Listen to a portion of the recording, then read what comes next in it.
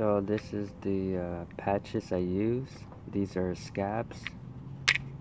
And basically you just, uh,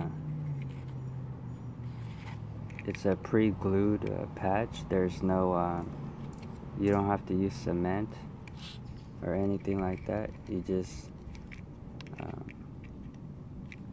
you can use this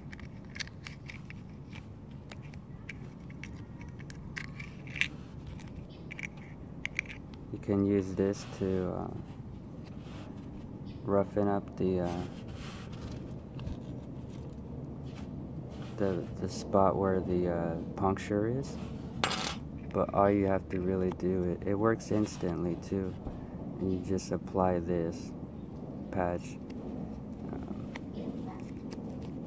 usually uh, like five of these work.